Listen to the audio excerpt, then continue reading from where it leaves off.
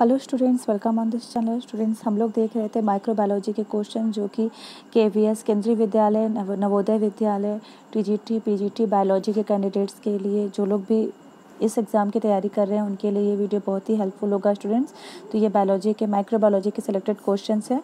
तो इसमें हम लोग देखेंगे, इसको पूरा आंसर इसका देखेंगे.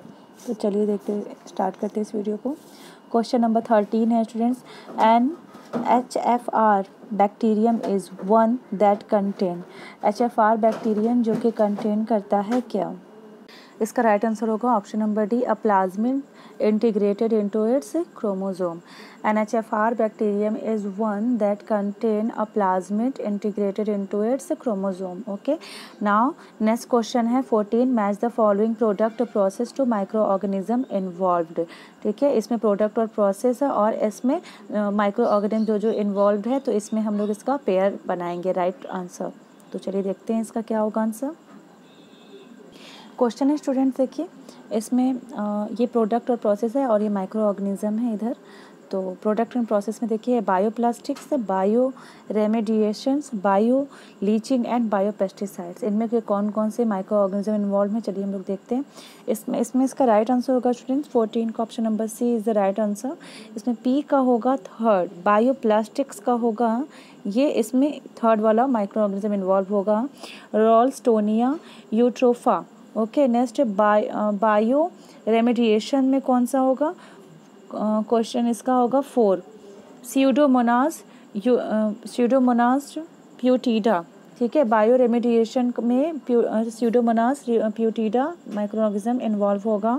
नेक्स्ट देखते हैं बायो लीचिंग में इसका होगा थायोबैसिलस थायोबैसिलस थायो ऑक्सीडेंस नेक्स्ट देखते हैं एस का हो जाएगा, इसका वन फ़र्स्ट वाला बायो पेस्टिसाइड का हो जाएगा. फ़र्स्ट वाला बियोवेरिया बेसियाना तो ये इसका राइट आंसर हो गया.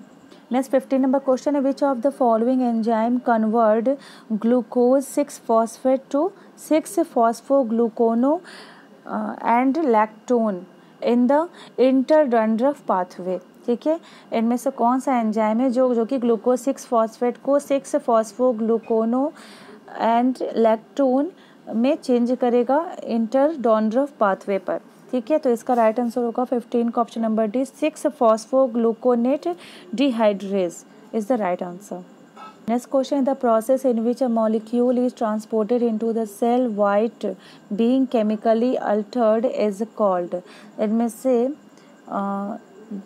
द प्रोसेस जिसमें कि मॉलिक्यूल ट्रांसपोर्ट होता है सेल में वाइट बीइंग केमिकली अल्टर्ड तो इसको क्या कहते हैं?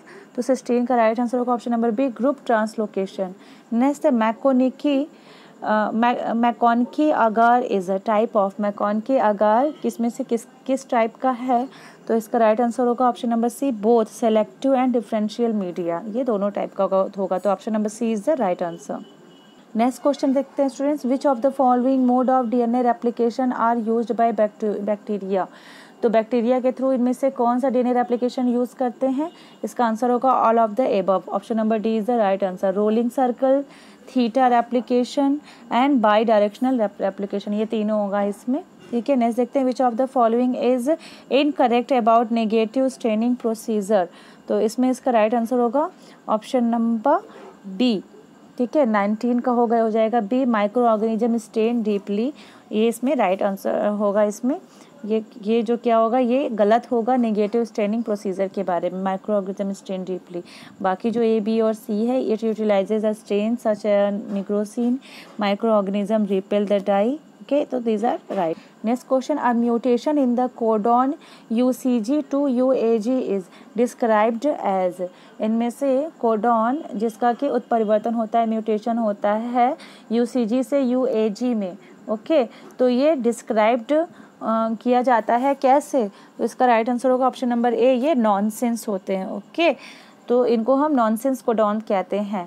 A mutation in the codon U C G to U A G is described as a nonsense codon okay next the infectiveness of many antibiotics today is closely associated with the infectiveness of many antibiotics आज के समय में closely associated होता है किससे? तो इसका right answer होगा option number C R plasmid से ओके okay?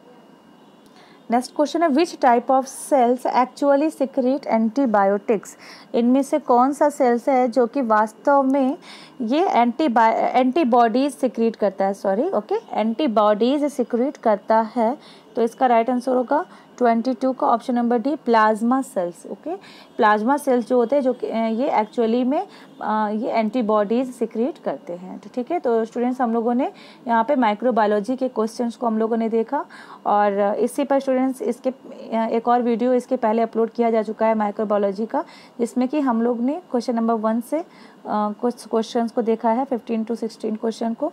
तो ये इस वीडियो का दूसरा पार्ट था। अगर आप लोगों को ये वीडियो पसंद आए तो प्लीज़ इस चैनल में इस वीडियो को लाइक कीजिए और इसको चैनल को सब्सक्राइब कीजिए स्टूडेंट्स, क्योंकि इस वीडियो चैनल पे ऐसे वीडियो आगे अपलोड किए जाएँगे तो आप लोग को भी इससे बेनिफिट मिलेगा। और नवोदय का एग्ज़ाम्स आने वाले हैं स्टूडेंट्स, केंद्रीय विद्यालय, टीजीटी, पीजीटी, इन सभी के एग्ज़ाम्स होते रह, रहते हैं। तो जो लोग भी इस बायोलॉजी की तैयारी कर रहे हैं इस एग्ज़ाम से रिलेटेड तो आप लोग इस चैनल को सब्सक्राइब कर लीजिएगा और इस वीडियो को देखना ना भूलना और अपने फ्रेंड्स में भी इसको शेयर कीजिएगा, ठीक है? Thank you for watching this video